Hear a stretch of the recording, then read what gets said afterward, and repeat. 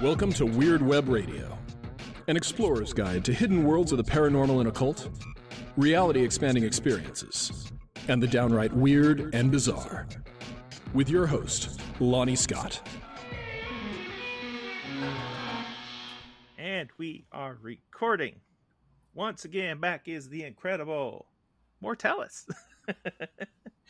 I, as I say to all my friends, I'm pretty regular, but I appreciate you rounding up. Regular? what? if I were asked to choose a word that described you, my friend, regular is not going to be one of them. that. Like most of my life is haunting my couch, watching Netflix, and eating wheat thins. Probably, I'm obsessed with wheat thins lately. I eat those things all the time. There's probably some strange origin to the person that invented wheat thins, right? No, There is. there No. always is. There's not actually. I was, I was thinking of Triscuits, but you know the story about Triscuits? we talked about the um, guy who invented Graham crackers. graham crackers. Is it the same guy?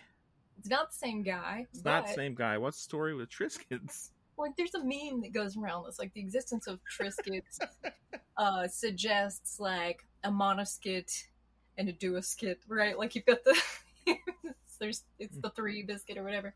But they're Oh actually yeah. they're actually called Triscuits because they advertise themselves as being the first uh like snack made with electricity. Like having electricity was still kind of new when they were invented. So they were the electricity biscuit. That's why they're Triscuits. Oh, gotcha. You look so proud of yourself. I am proud. I love shit like that. I know you do. okay. Um, so we have discovered the thing about Triscuits. Uh, for the people who don't know you, That was all. That was it. That was all. uh, would you still describe yourself as a mortician, a witch, a necromancer, a medium, Yes. No all those things? facts about snack foods. a priest X of a Gardnerian coven. Correct. Yes. Yes, that's the down and dirty title. right? I like that whole priest X thing. It is. It is. It's fun to say. Um, I'll, I'll drop you like an exclusive detail. oh shit. Back in the day when I was like, I don't know, but I don't think I'm a girl. Hmm, questions. Questions. hmm Thinking about it. Thinking about it. Nope. um, I, I mean, I didn't want to use the title priestess, and it just wasn't vibing with me. And I was trying to decide what I was going to do and what was right for me. And um, I settled on priestess because I stumbled upon a Judas Priest cover band that is all female fronted, and they're called Judas Priestess. And I was like, but yeah, that's the one. yeah, breaking the bra, breaking the bra. I read them like a dorky fan email one day, and I was like, I know you're like a small band from who knows where, but you inspired me. Thanks. That's awesome. I'm gonna have to look them up. Everybody's gonna go bomb their website. It'll be great. yeah, all of a sudden they're selling albums again. Nobody knows why. Do it. It's all just become That- fans. that would be fucking awesome. I'm gonna have to give you a link now so you can put it in the show notes. yes, please do send it to me on Messenger. Um, I guess since the last time we've talked uh, publicly, um, have you had any kind of like haunting encounters or anything? Any eidolon of any sort When pop that- up in a memorable kind of way? When is that not my life? I It's- know. That's why I'm going for like anything that really stands out since the last time you were on. Yeah, it's been a Um, couple years since you were on the show. Yeah, okay, stuff that stands out. So, um, I'll be the weird woo woo person, and I will say I, I do experience full body apparitions. That is a feature of my mediumship esque abilities. Um, my dear friend and coven student, long since like graduated off into the world, uh, their father passed away in the time since since I was last on the show, and uh, their father's kind of a putz. so we came to an agreement that we were going to invite uh, dear old dad to come hang out here so that they didn't go harass my friend and, and their family. Hmm. And uh, uh, the fun thing about this particular uh, incorporeal household member is uh, that he's a jackass, complete jackass. Mm. And it's like they vacillate between being like a beach bum and an extra from Miami Vice in how they look, which is very funny to me. But they seem to find it humorous to try and scare me like like crappy horror movie style. So they're always like popping out like. "Ah, I get you this time." It's like, man, if you do that again, I'm gonna put you in a toaster. Just fuck off.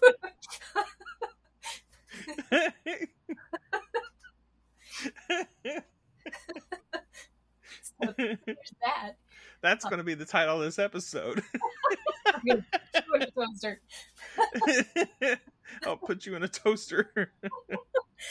Um, I did have kind of a fun experience um, at Con Carolina. It's a, a convention here in North Carolina in the Charlotte area, which I highly recommend. It's it's the weirdest vibe. It's like thirty percent paranormal convention and thirty percent like game stuff and thirty percent like uh, authors. So it's this weird sort of scattered out thing. But most everybody's pagan, and that's a fun vibe. But um, I got to speak there for the first time this year, and uh, just looking forward to going back. Had a real blast, and there was a paranormal investigator there, and we happened to be walking in the same direction at the same time.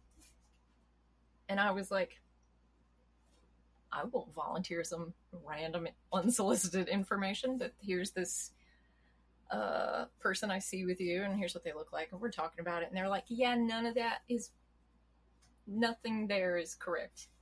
All right. I told you what I experienced. That's cool. Everything. and you go home and you're like, I might be a fraud or possibly an idiot. You know, you, yeah. but you have to trust your instincts, right? So Yeah. I got a message from them like four weeks after the event. They were like, "Okay, so I, you know, traveled to see my my aging mother or whatever. And when I get there, she rolls up out of the other room in the outfit that you described, and I asked where it came from, and it belonged to her grandmother. And she's like, and then I told my mom about everything you said, and and then I told her that this other thing that you said that she smelled like biscuits made no sense to me, and that was stupid and dumb. And the mom was like, "Oh, actually, she was a nutritionist at a school way back when, and she made biscuits so much that there were jokes about it, and they made." They made a, a specialized biscuit press for them, like it was a whole part of their life that uh, the investigator didn't know about, and Oh, uh, they even cool. sent they even sent me a picture of the biscuit press. So it's always like nice. you know trusting your instincts and and like honoring what you're experiencing even when the other person isn't sure about the information it's it's Mhm. always fun when that comes back around I bet. Yeah. Yeah. I, I mean, I'm that way with tarot readings. Sometimes I feel like you, you get the person that just kind of stares at you. They don't. They try to hide every possible facial expression and silence their body completely. Like I am not giving you anything. I'm like I'm not reading you, but every once in a while I'll say something and look up. Like, is this hitting home somehow? and uh anyway, yeah, there there's been times where I think I'm not I'm not this isn't going anywhere. And then all of a sudden at the end of it they'll be like, I feel like you read my diary. i mean this, this particular person was lovely and nice but it was like yeah i don't know what any of that is that you said was like, yeah. "Oh, it's cool i'm just telling you myself yeah. So I did have um it was a tarot I used to do tarot parties and stuff, you know, like get X amount of people for so much money and host gets it for free, that kind of thing. Yeah. And a lot of people would book me for it and then they'd bring over their friends, get wine bottles, start popping that, get it flowing. And always a good time, right? Good vibe. And then COVID came along and ruined all that. But um there was one party I was doing and everybody's having a great time. The readings are going great and I get to this one lady and uh, I do the reading and at the end of she's just staring at me the whole time, kind of one of them. And at the end of it, she goes, "So that's it?" And I said, "Yeah, that's it." And she goes, "What are you like a guidance counselor or something?" yes. I was like, well, if you want to take it that way, did you find it helpful? She oh goes, Oh no. So I gave her her money back. I was just like, I would just rather you have your money and shut up and go away. You're not all going to be winners. Did, did I ever tell you about the one time I did tarot reading for a party? No, do- no, you didn't. I do readings, but it's not a huge part of my life. I'm not out there beating the bushes with it. There are so many more talented people that do it that I, I feel like, you know, a fraud when I, when I go to it. It's like, uh, why would people hire me? I'm not, you know, I'm no fun. But, um, no fun. Whatever. but I get, you know, I get a message one day about email and it's like, you know, we could use someone to read for a party, a thing you've never advertised. Would you do it for us? And uh, I was like, "Are you sure you want me, like, you know, grumpy goth medium person, whatever, to show up and do, and do tarot at a party? Is that the vibe you want?" And they were like, "Yeah, we we want you there." I should have asked more questions. I think you're missing out on your business cards. Grumpy goth medium person. Just put that right. Yeah. Um, I'd call that person, but um. I show up and it's a fucking sweet 16 party, and I would like to have Oh. known that before I got I didn't. So here I am. And I remember the first young person that sat down in my chair. This has been years ago, but uh, they sit down and they're like, I want to know if I'm going to be an Olympic figure skater. And I thought to myself, you have not started early enough in life to achieve that, first of all. And they tripped on their way to the table. And I was thinking, this is not. Mm. So they, they had wanted me to do one card readings. It was a huge party. There were a lot of people. So I pull, turn over a card and it's the Fool. And, ha ha ha, universe, funny stuff. I do the reading for the 16 year old. They go on their way. The next person comes up. I shuffled, you know, whatever. I pull out a card. It's the Fool. Hmm. Every single person, and they were all one card readings. Every person got that card that night. No What? no matter how much I shuffled and no matter how Mm. improbable that sounds. And it just felt like I was being tricked. No, no, it was your evil twin living inside you that said, "We know how to palm cards, and we're going to fuck with you." Yeah. Sorry, just take it out of the deck. But, I, I, you know, if you've got a room full of 16 year olds and they're like, give me advice about this question, I mean, uh, yeah, that's true. Um, so since the last time we talked, there has been a change with your book that's been upcoming for quite a while. Last time you were on the show, I was going on about, hey, it's go to Oh, Llewellyn, whatever, buy Llewellyn books and get it in September of 2021. Wah, wah, wah. I'm So, so excited for yeah, yeah. So life happens, things happen. There's no need to dig into that. That's that's True. neither here nor there. That's between you and and your private business. Um, you did, however, uh, end up landing with Crossed Crow Books out of Chicago, Illinois, and I've really enjoyed their enthusiasm watching them grow and and get excited about what they do. Um, and now as of now, today, July 27th, 2023, you can pre order that book. By the time people hear this and replay and so on, it's probably going to be available. When is it actually like going to hit the shelves? October 3rd. October 3rd. Yes. All right. You heard it here twice. I'm sorry. I'm sorry. I, you know, Yeah. Being being in relationships with publishers is Mm. not unlike a marriage. Sometimes people just aren't going to be a fit for each other, and you gotta That's right. you gotta you gotta hand part. You know, That's okay. It You go- happens. you Yeah, go on so- find your find place, and I will say I'm now happily in a relationship with Crossed Crow, and they're they're super cool people. I, I truly, I really am, am enjoying working with them. It's it's funny you go from a a bigger publisher. Llewellyn's not much bigger, but you know some, and um, you maybe speak to one or two people, and you don't know anybody there. And now I know everybody across. Every single person emails me every day, and they ask me about even the smallest details with my book, which I just I really love that they have an author centered approach to publishing where Mhm. every single author they work with is just really invested in every phase of their book's creation, which is amazing. I, re- I just really love that. And uh, you, you've heard me talk before about, you know, don't judge a book by a cover, by its cover, because the author probably didn't get to choose it or the title either. But that's not really true with Crossed Crow. Like you know that the author really had their their fingers in every bit of the Mhm. pie, which is nice. Yes, and the book we're talking about is Bones Fall in a Spiral, a necromantic primer. And I know for a fact because I checked today, you can go to Cross Crow Books website and pre-order that thing in paperback, hardcover, Yes. and some special like goat skin something. I think. So, so Crossed Crow loves me and they're very sweet and kind to me. So I not only got a hardcover, which is a thing that is, you know, hard to achieve as a pagan author.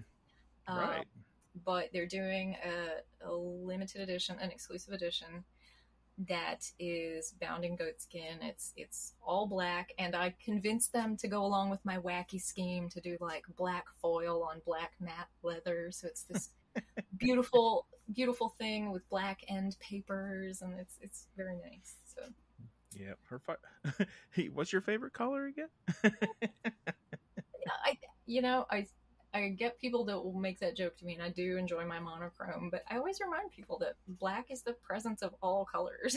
it's it is everything. So to me, black is a rainbow, but that's the Oh, artist. There you go. So That's true. Um, I guess we covered the publisher thing. I'm looking through my notes here about what I want to talk about with Crossed Crow. I think we're pretty good to go.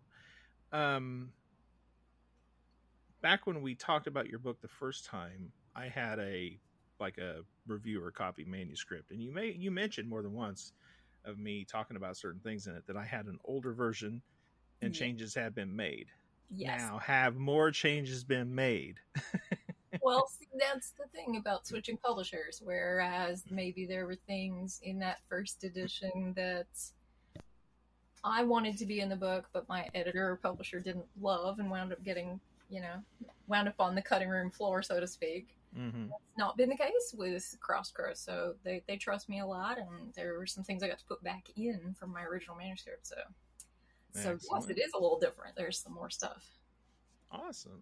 And, And if In Oh. other super cool news, they are also printing an expanded edition of Do I Have to Wear Black, which you should hear some announcements about soon. So, oh, that's very cool. Yeah. Yeah.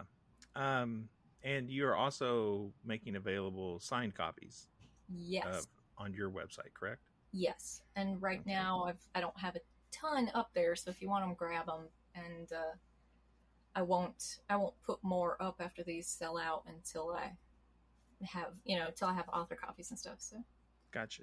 Okay. And that is mortellus.com. it is indeed. And I I don't indeed. I don't have the fancy leather version. I'm not that cool. I I have They should send you one. I I will get one. Yes. yes, you better. yeah. And I saw that um, Morgan Daimler wrote the foreword for it. Yes. Yeah. How'd that come about? How'd you and Well- Morgan hook up? I love Morgan's pieces. I, you know, we we do that like ADHD neurodivergent thing where we're friends, but we never talk. never talk.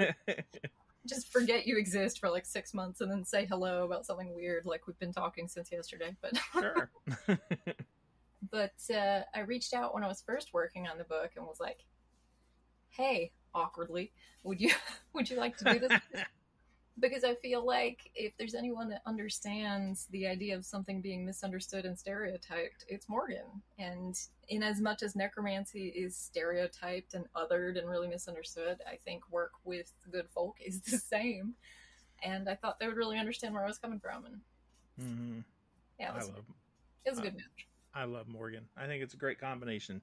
Morgan has uh, been on the show a few times as well, and I can also consider Morgan a friend. And I also message Morgan every so often, like we've been talking every day. It's just out of the blue. some random.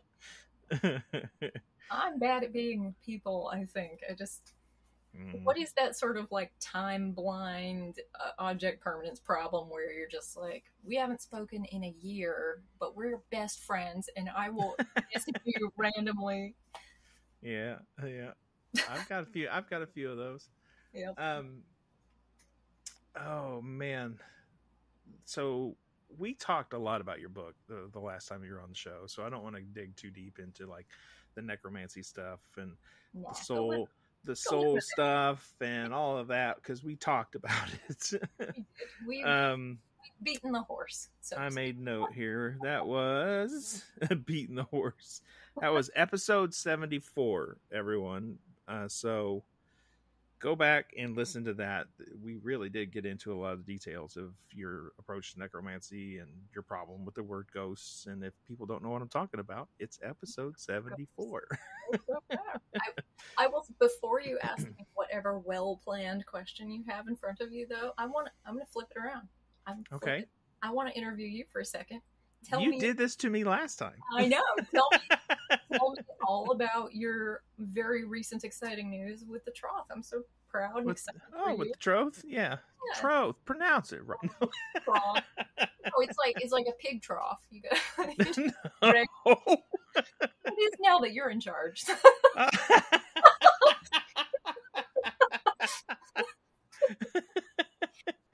See what I did there?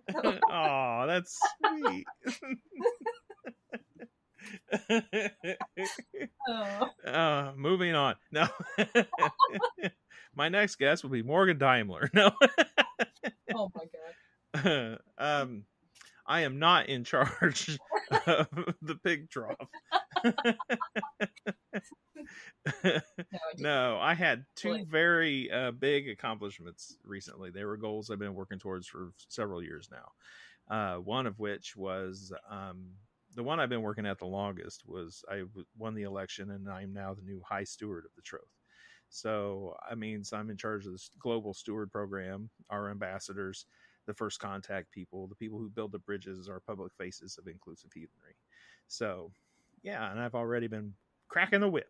No. yeah. Congratulations. I, I'm very proud of you, and I, I can't think Thank of you. anyone better for the for the job. Thank you. I appreciate that. Yeah. And as I told the stewards at our first meeting at our recently at Troth Moot, it's our annual gathering for all the members of the Troth. And you do not have to be a member to join. Wink, wink, nudge, nudge. um, I told them, you know, I think usually what most of the things that stewards get, because I've been a steward. First, I was the steward of Illinois for several years, and then I was the Midwest steward and I, we rebuilt the steward program. Me and Patty Lafayllve and some other folks that helped out a lot, and we turned it into what it is today. And one of the most common work things that a steward will do in their work is just monitor their email account. Yeah. And I tell them, you know, most of the time that email is going to be, I'm interested in heathenry and I don't know what it is, or I'm a heathen and I'm looking for other people. I'm new and I can't find anyone. Can you help? my suspicion is that someone goes to Google and types in heathen or Asatru or Odin or something, you know, Mhm. and they get all the links to all the organizations at some point on that first page or two of results, and they email everyone. I want to be the first responder. I want our stewards to be the first responder because I just think it is. I think some of those organizations out there that, that run that folkish line, that racist ideology, that it's an quote unquote, they call it indigenous Northern European. I've never heard any phrase so stupid come out of an American mouth. Believe me, I know. and, um, anyway, they're out there and, and they're very clever about what they do. They don't present it that way at first. I've seen their websites. I see their material. I've talked to people that they've talked to. I've talked to people who've gotten out of it. And they'll all say at first they're all like, "Yeah, it's it's our ancestral way and our ancestors and you know like this is great and this is for us and it makes you feel part of something and all of that has some truth to it. And all of it is very insidious and nasty and masking that they're going to say, now go take this ancestry.com DNA test and better not be one drop, you know, that that that's there's I won't name them, but there are groups out there that do shit like that, or they'll say you know women have their place, or you can't be of the LGBTQ plus community, or you can't be trans. You know, like it goes on and on and on.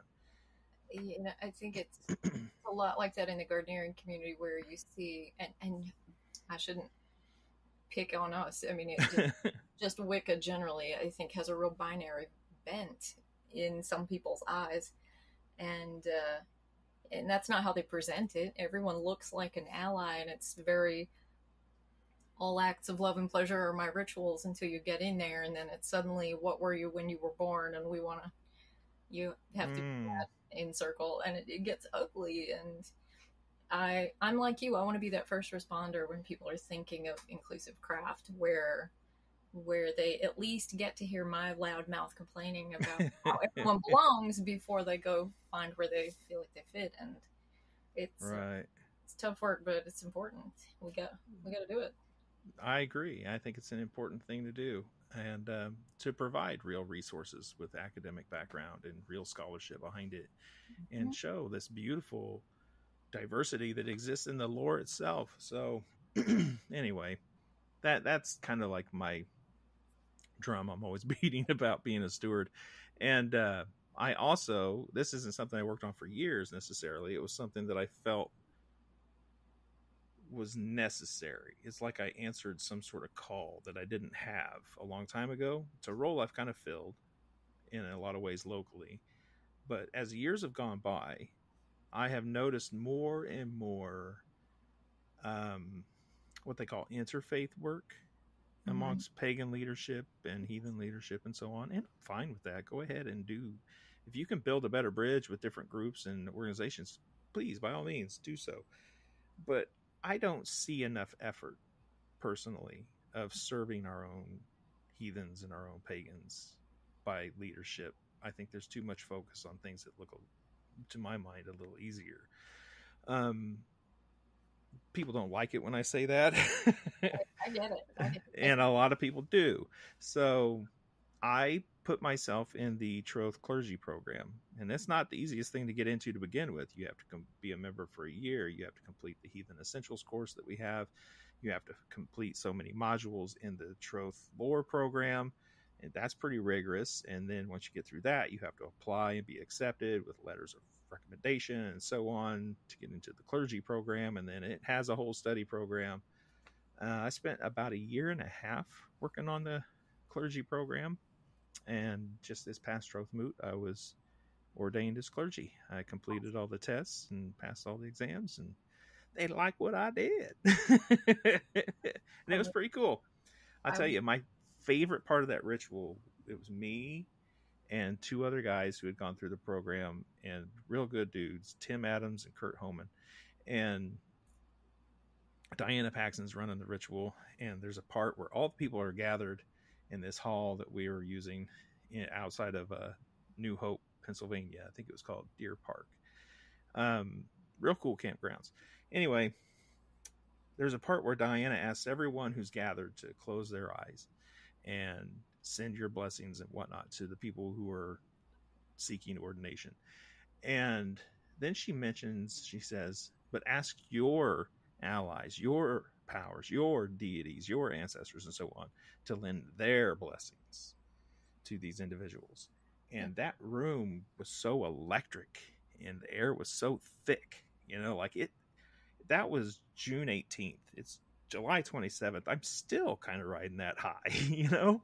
That's awesome. I, when I saw the pictures you posted, I was so excited. I was like, and my kids were like, "What, mommy?" And I was like, "My friend did something really cool." And I was trying to explain, and I showed them the picture, and one of them was like, "Does that mean uh, Lonnie is God's assistant?"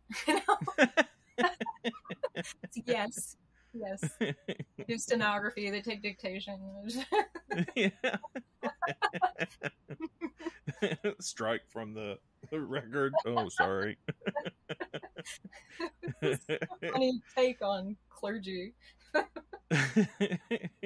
yeah, that that is one thing I think those of us who are in those sorts of roles in paganism, heathen, witchcraft, whatever, you know, like we have to sort of borrow words from the wider culture to describe what it is we are and what we do. We do, and I, I uh, I've started using a term. It's never. It's like fetch from the Mean Girls movies. Never gonna catch on, but I've started started using the term speaker. Uh, Hmm. to describe leaders in the Gardnerian tradition because we traditionally have a lot of terms from peerage. Lady, for example, would be like third degree coven leader and so on. But yeah, it's more of that gendered stuff. There's not a masculine version. There's not a non-gendered version. But Hmm. the way I describe it is that a speaker speaks not just for their coven, but for the gods. We have to be that intermediary for our people internally and externally, but also for the deity to them and, and in reverse. So I think speaker is a really good description of how I imagine being a gardener Gardnerian coven leader. And uh, Mhm. I don't know, maybe it will catch on. We'll see. Yeah, it might. You know, um, I did see on your website. I don't know if I've ever noticed this before. I was just going through your website, looking at different things you've been up to, maybe that I hadn't caught on to, and um, scrolled all the way down to the bottom because I was looking for something else, and then I saw a thing that said Seekers, so I Yeah. clicked on it, and uh, I see that. I'm, I mean, I was going to bring this up later, but we're already on covens and stuff, so why not? Um, I saw that you now, maybe you always have, I don't know. You offer online and distance training through your coven. And I thought that was really interesting. How's that work? So, just to start, I used to keep a separate uh, website for my coven and kept those lives kind of separate, but it started to seem silly after a point, so I, I sort of snuck it in under the radar, under Yeah. the footer there. Um, yeah, during the pandemic, really early on, you know, I I'd take a real strong stance about safety, and I think being on the mortuary side of things, we could see how dangerous things were getting, and I was the first coven to my knowledge, to announce that we were suspending in person meetings for safety purposes back in 2020. And I caught a lot of flack for that. And Yeah. someone told me it was very privileged of me to close meetings. And I'm still scratching, what? I'm still scratching my head about that. Um, so we hmm. did that, and my coven and I talked about it. We started meeting by Zoom and that kind of thing. And it was working out for us. And I was like, you know, at the same time, we're kind of dealing with this rise of sort of anti trans sentiment within the, the community and that kind of stuff. And I was like, you know what? If this is working for us, it can work for other people. And this will allow us to sort of expand our reach outward and include people who aren't able to find a coven home for the dumbest dumb shit reasons anybody ever heard of. so, so let's give it a try and uh, just sort of quietly opened that up. And now, three years later, we have a fully electronic curriculum. It's super rigorous. It's treated like academia. It's um, it's not unlike a community college degree where you log in and you have modules and classwork and stuff to do, and then we meet twice a month via Zoom. And then our local people, we meet once a month in person, and um, people who need to travel for you know initiations, elevations, that kind of stuff, we can plan ahead and make it as affordable as possible to get folks here and it's a whole bunch of work I do for sort of thankless. but, you know, that's that's being uh, leadership in any religious group, I think, or any faith group. Sure. Yeah. I hope that when we finish our sort of first class, so to speak, of, of folks and get to the other side, that it'll be something that I can say to other coven leaders, like, here's kind of what we did, and take that. And That would be very cool. but we found ourselves able to take on students that we never would have met before, and um, I say we as if I'm not one fucking person doing that. you know, the, the group of people as a whole. Like I might be in Sure. charge, but we're doing this together, right? But uh, mostly it's a bunch of just you know silly queer nerds that you know, we're getting rejected from seeking for the virtue of their their race or gender or sexual identity, and you know. I'm just gonna initiate a bunch of shit kicking weirdos so they can go off and we'll just make Gardnerian Wicca be something different. That's fantastic. you know, ruin it for everybody. Uh, that's that's kind of one of our missions, not stated, I guess, directly in the troth. Is we just keep opening the door to every weirdo out there. Come on in, because we are weird as fuck too. you know, I was, I was telling you before we started. I think that, uh, I think Gardnerian Wicca, traditional Wicca, if you're doing it right, is much more like uh, a Norse heathen kindred than, than most people would imagine. I think. Yeah. Um we were talking about that and I said if you want to talk about it, let's talk about it. Um Here now we here we are. early, early on in the formation of American heathenry, they didn't have a lot of examples on how to build anything, right? So you get you get some less than desirable people creating rituals that it stuck around. Uh, so stop me if this sounds familiar. It's not something I do, and it's not something that a lot. I think I think there are probably still a lot of heathens out there to do it. But anyway, stop me if it sounds familiar. Hammer of the North, ward and protect this holy stead. I know, I've heard it. Hammer of the West. You know? the funny thing about that is, so, so everybody listening probably knows the amazing Leah Svendsen, who wrote the Loki and Sigyn book that I did the forward for. never heard of him. No, no. No, awesome. And, Leah is awesome. and Leah's been in the Coven of Leaves for a good long time. And we were constantly comparing notes because as they sort of figured out that we're not doing what they expected, I was sort of figuring out that they weren't doing what I was expecting. And Mhm. what you're describing that you know calling the powers and elements and stuff Sure. that's not Yeah. really a feature of what we're doing either because that's some stuff from like 90s Silver RavenWolf and whatever right, Right. Yeah. nothing to do with us at all so we mutually have that misunderstanding living between us Mhm. right. Yeah. That that like from a heathen perspective, anyway, um, it is getting less and less. I get it's less and less borrowing from other traditions Yeah. as research into history and things and reimagining how that might work is getting better. You know, we know like pre-conversion times in certain places there was a tradition of walking a flame around a place to make it sacred in a way, right? So Mhm. you have that. We know there was a tradition of honoring land spirits. I mean, there's the whole Icelandic sagas, you know, where they, there's one part where they're talking about you have to take the dragon's head off the longship so you don't scare the fucking land spirits. Um, and they, they name the specific land spirits of Iceland. And, and, you know, so boil that down to your local practice and you're obviously honoring land spirits and things as part of your practice.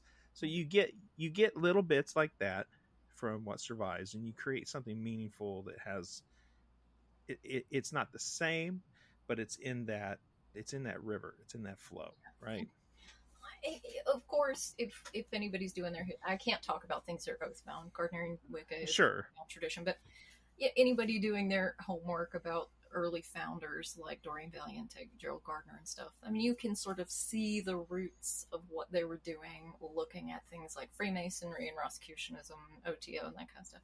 right But I think today you see more Gardnerians sort of looking at that sort of critically and going, okay, let's take all that crap out and sort of look at what's really what we are without that.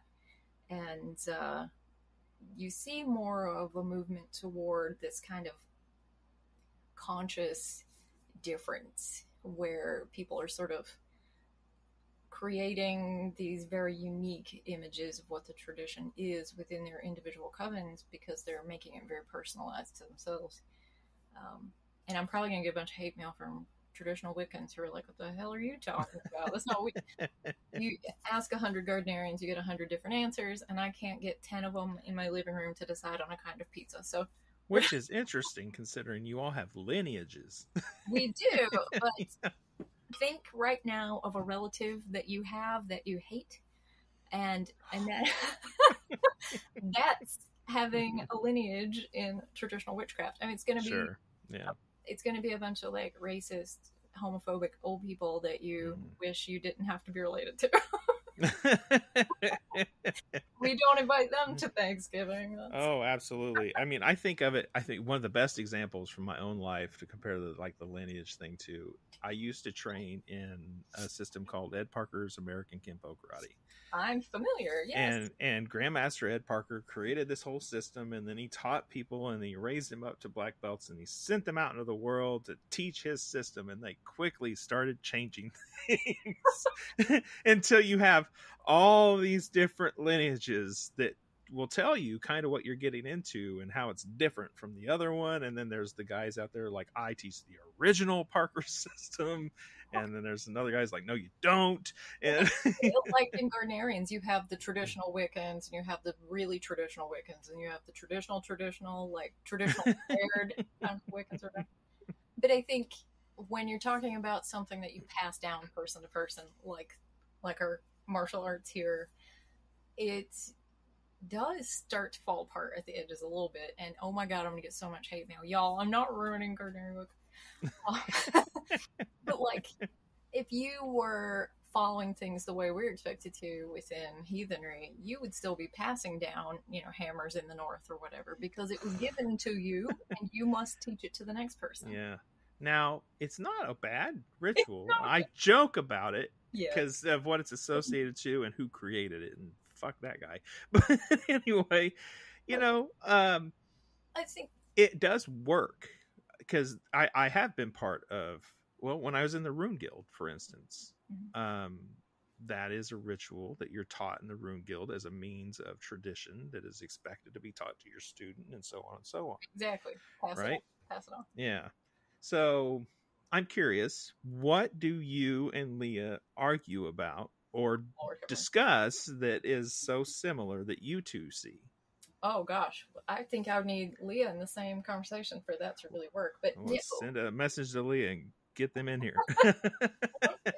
you know, one of the things that we've talked about probably more than anything is that idea that you know, kindred and covens aren't that different.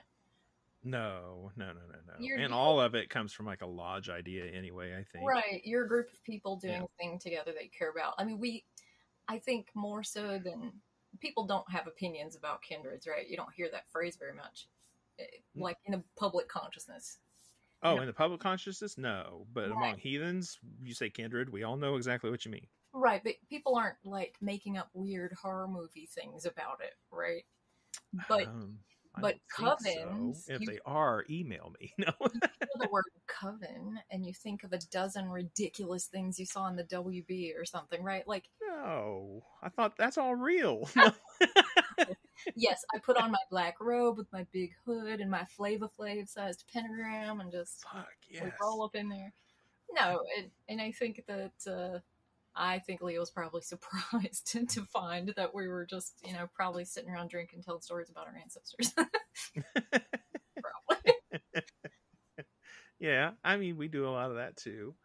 Um, yeah, there's some of that. I would think you, if when you drill down, that's where you get more of the differences. Yeah. And like, I, and, but I wonder too, though, because I don't know. So, in heathenry, amongst many heathens, I can't speak for everyone, you will find the entire spectrum of a belief between from animist to atheist and Same. everything in between. But you will find a very common thread with all of us where we don't we don't necessarily believe in the gods. We don't believe in the spirits. We don't believe in the ancestors. We relate to the world as if they're just there. We just know, it's just like you know the police are out there and they have speed traps and you drive accordingly whether you have ticket money or not but you behave as if you know they're out there. And that is like a core thing that seems to be it's not 100% but it's very consistent with heathenry and it's consistent with research and back into the viking age too. Mm-hmm in Gardnerian craft, you see everything across the board. I can't speak for everybody. I can speak for myself and barely my little group of misfits. Like, and we're all across the board from atheists to agnostics to mm-hmm. you know woo woo nut jobs like myself. but I don't think any of us believe in gods. And there is something I tell my students very often, and I'll tell it to you and your listeners now. Most witches don't believe in gods they know the gods exist, of course. They even deal with them occasionally, but they don't believe in them. They know them too well. It would be like believing in the postman, said Sir Terry Pratchett. yeah, that is one of the best things Terry ever said in his books. Yeah. Um, yeah, it It, it is. It's like that. I used to have these discussions with like Ivo Dominguez and I have been had discussions about the difference between being devotional and seeking magical practices. And I've always said I'm not devotional at all. That is just not my bag. Uh, I do seek the magic and things and stuff, but we never got outside of that box of devotional and magical. No, I'm not devotional because I'm re- I'm building relationships. I'm not I'm not kneeling. I'm not worshiping. I'm not. I'm not going that direction necessarily. I feel like my relationship with deities is like my relationship with my five year olds, where like the five year olds, like, if you please just eat one more bite of your dinner, I will give you a popsicle. And then I'm over here with the Morrigan, like, if you would please just help me out with this, I will buy you that cool knife we saw. they are toddlers. Oh my god. Look, yeah, I you another pinwheel, but you gotta cool it with this thunderstorm, okay?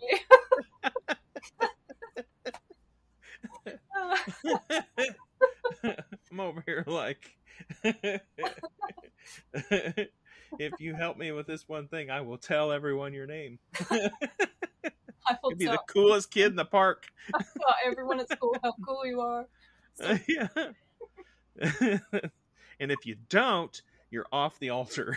time out. Time out. well, you heard it here first, folks. we have just fucked up your religions. Oh my god. Oh. I'm gonna go in the house and I'm gonna get this guy from every altar and I keep looking this way because that's where mine is. I don't know that that crow just turned its head. I just know it oh my did. oh, good stuff. Well, Well, yeah, I, I am glad you brought that up because I think it's important that that we all realize. John Beckett used to talk about his idea of this big tent of paganism, right? Because he wanted every, and but then I think he sort of gave up on it. Honestly, I haven't seen him talk about it in a while, um, but I recognize it because like we have a pretty sizable ADF grove in Champaign, Illinois, that's nearby where I live, and the rituals are public. Everyone's welcome. There's there's a lot of heathens there, of course. Uh, there's Celtic Druid type practitioners. There's I- specific Irish pagan type practitioners. There's your general kind of eclectic witches.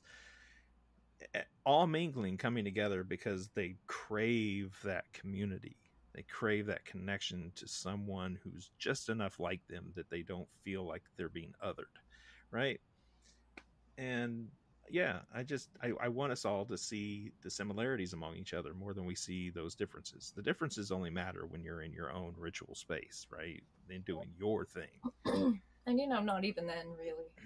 Truly, hot take, but right. It, it's not that it matters necessarily. It's just that's where the differences are. And it's not that big a deal. You should be connecting to others. exactly. And I, I, I talk about games a lot because I think play is a big part of magic. I think play is a big part of life. It's how human beings learn. We first learn life skills by playing as children, right? And of course, I'm a big gamer nerd, and anybody that knows me knows that the bones fall in a spiral is actually the name.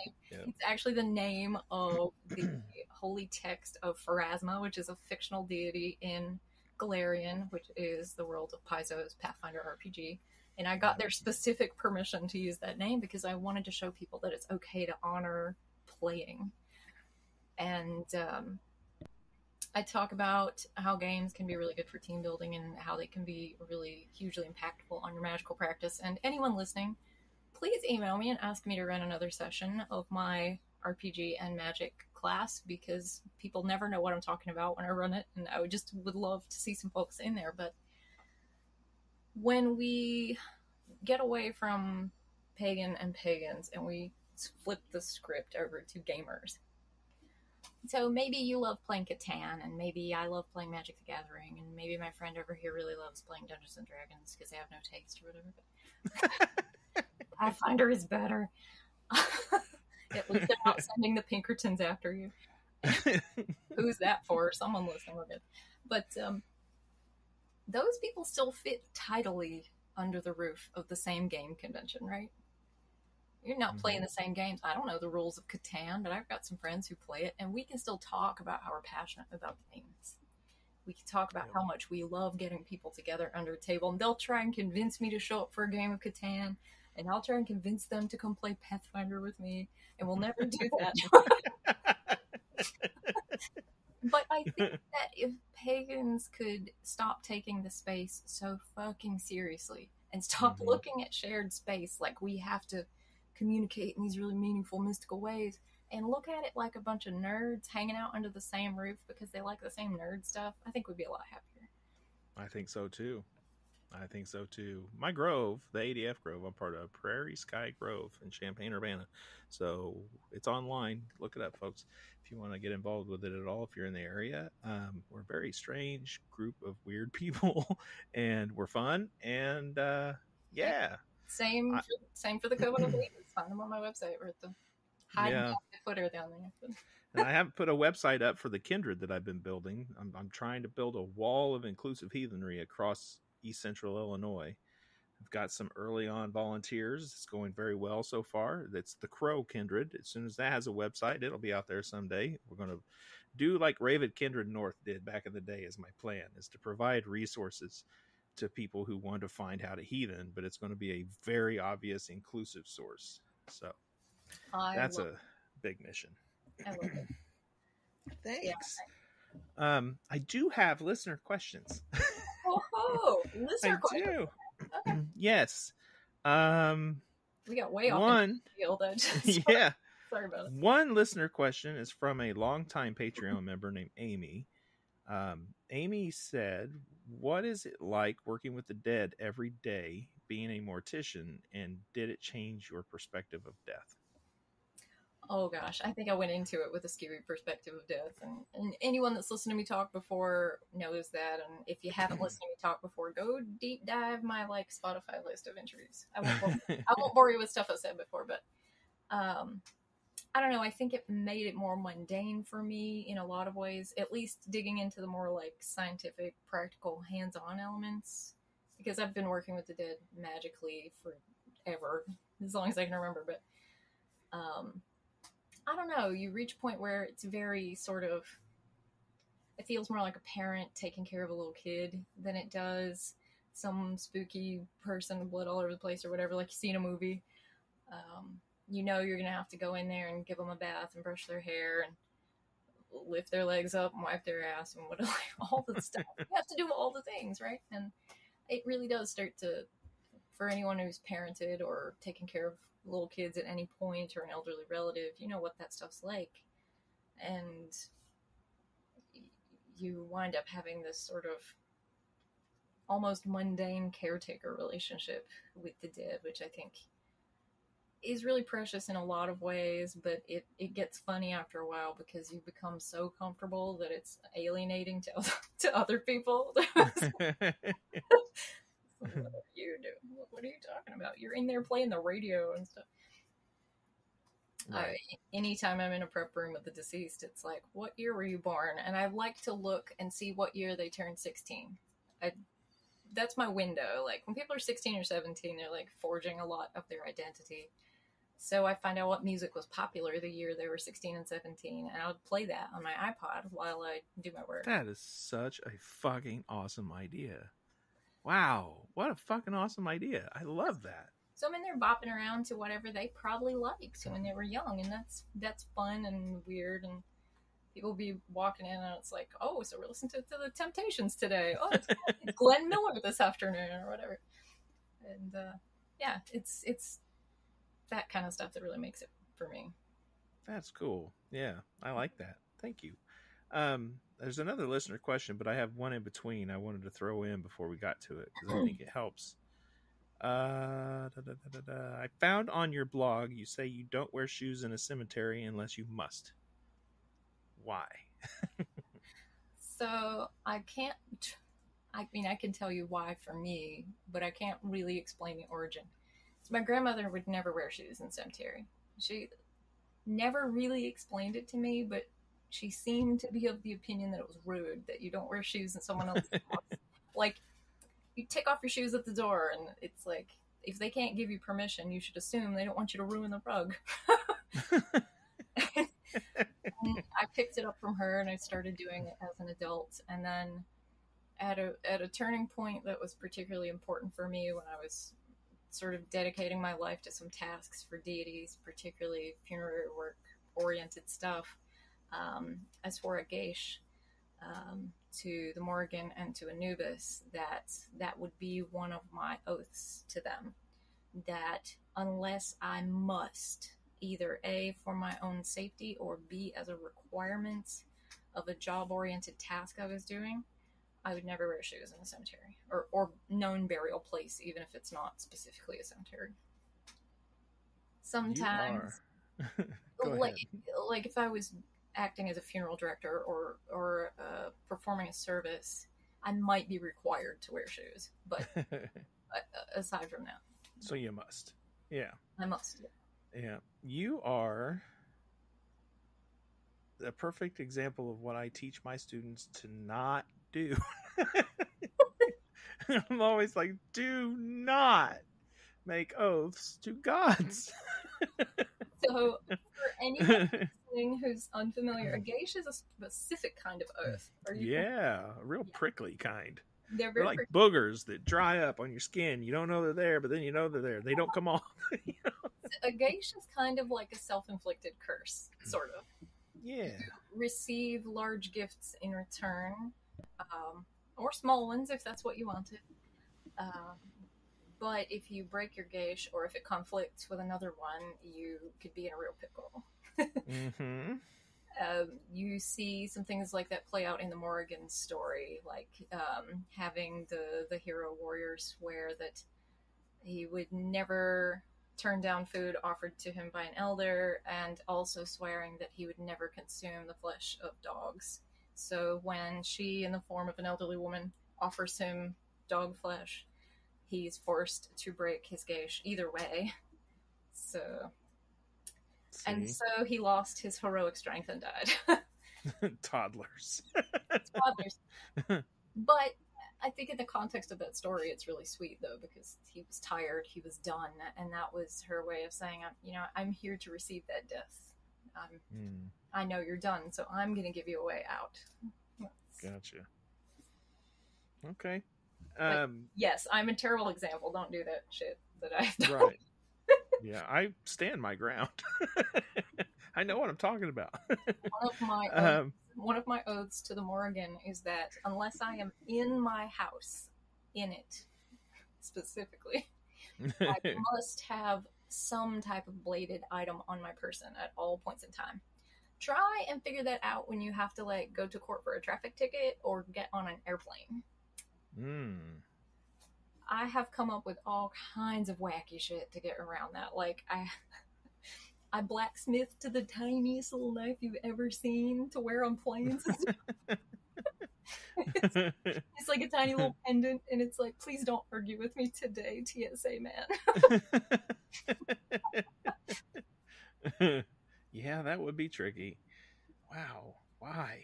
I don't want to know why. I'm sure it's private anyway, so it's fine. It is. Yes. Um, a listener question was sent to me privately. I wanted to I wanted to include this in here because it, it flows along that thought.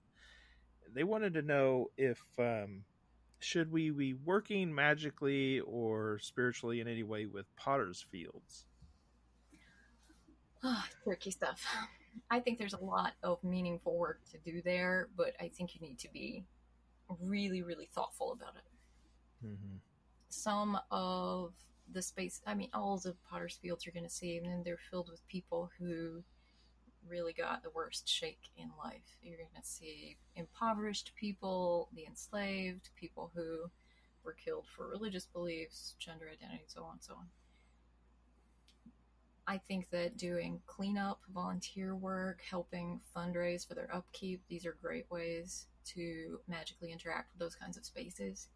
Mm-hmm but I don't recommend going in there and making them sort of ritual working spaces because mm-hmm. it's it's not your space. Even let those folks be, you know. Yeah. I'll agree with that. There's a pretty large Potter Field section in our like big local city cemetery, Mm. and it's got a vibe. It's it's got kind of an angry vibe. So anything I've done with it is always, you know, you and I have talked about how I approach the concept of an Ankou and how I make offerings every Samhain because I think it's an office that changes, you know. Um, anyway, I've Really, it's supposed to be. I've done offerings and work every every once in a while. It's usually around the um, the autumn equinox. I have this whole thing that I do where I consecrate apples.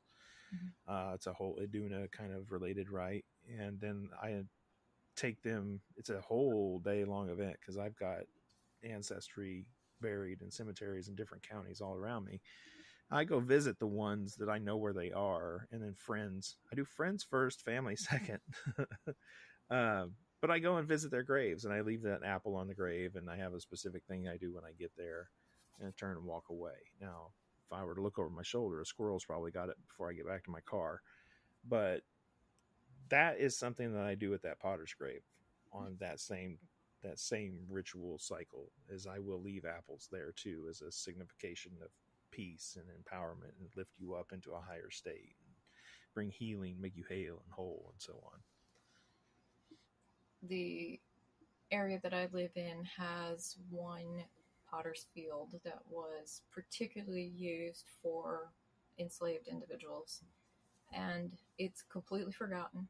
It's grown up with trees. And um, something that I've done is go out there and start manually cleaning it. For the last couple of years, I've been going out there whenever I can, just clear stuff out.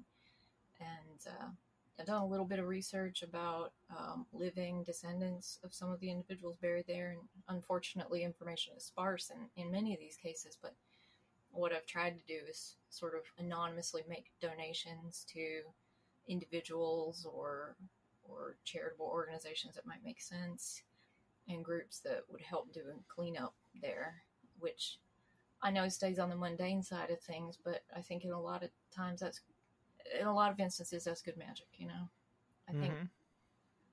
i think whatever you can do to act in a way that it helps there be remembrance for those folks and takes care of, of people that are still alive i think is is good work I agree. Well, I think we have pretty much come towards the end of the regular portion. Is there anything that you wanted to talk about that I did not bring up? mm. oh gosh you know i'm bad at this sort of thing i just tell people to you know holler at me online if they want to find me and uh, something i did not have last time we spoke is i i finally broke down much to my shame and regret i now have a patreon but it's actually I know. It's kind of been fun though i i saw you getting there today thank you I joined it today, so And- I support your Patreon. i support yours so we can just hand five dollars back That's right. We just swap five bucks. back and forth. But, uh, yeah, so that's new, and I, I like it more than I thought I would. I, I said for years I would never do it. I don't like there being a, a paywall between me and folks. And my, my lowest tier is a dollar, and I have a note that if if someone can't afford it, if they sign up for it, I will give them back the dollar every month, whatever right. whatever I can Yeah. do to make it accessible. But um, it has been nice to get my blog away from you know AI scrapers and all that stuff. So yeah, it's fun.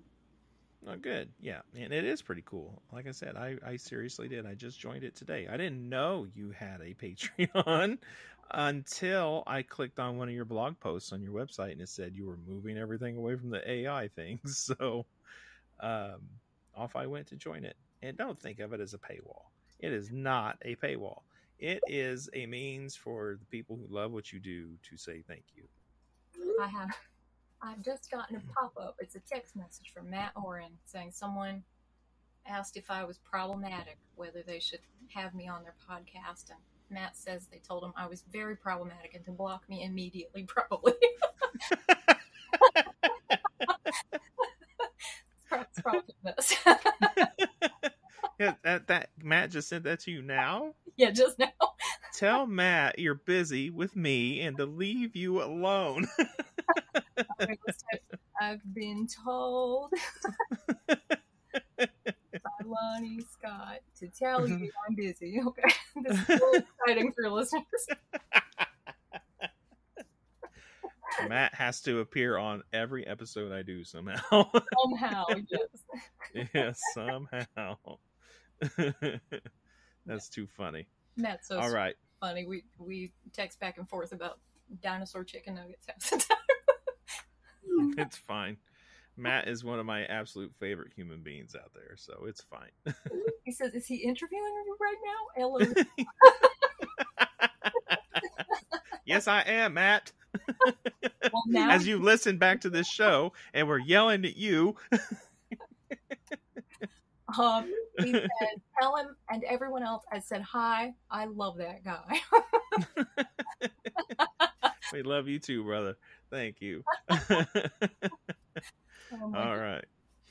Okay. Well, Special guest star Mat Auryn. patreon.com slash what Mortellus. Mortellus, yes. All right. Go go join, folks. Uh that wraps up the regular portion. The rest of this is going to go over to Patreon, my Patreon. But first, Mortellus, thank you so much for coming back. As always, this was awesome. It, it's always a pleasure, even if we get off into left field. I, I hope folks enjoy talking. Tolerate listening to me. Left field is where the best conversations are usually. It's true. It's very true.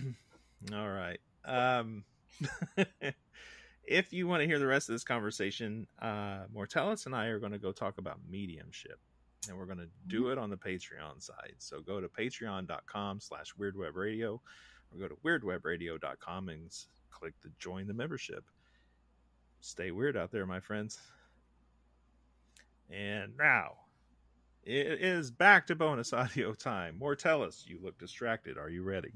I am. I was trying to see what what Matt said to me. That's all. Mat Auryn, right. remaining the special guest star of this episode. Yeah. Does Matt want to come on to the Patreon part? we'll, I'll relay messages back and forth like a translator. Do you want to hear how they just answered that question?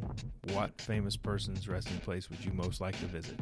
That and many others, including what they think about the afterlife, what they may or may not do in cemeteries, what are their traditions and magical practices that have to do with the dead, folklore that surrounds their homes, and so much more. Available for only $5. $5 a month. Even if I make more than one episode in a month, it's still just $5 a month at patreon.com slash weirdwebradio or go to weirdwebradio.com and click join the membership. You can find me on Instagram at weirdwebradio. You can find me on Facebook as Weird Web Radio or come join the new, fun, and exciting Weird Web Radio Facebook group. Thank you again for being here. Stay weird out there, my friends. Thank you.